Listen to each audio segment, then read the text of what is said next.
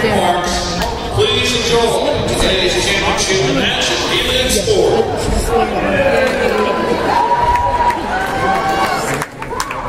A little slip. Damn it.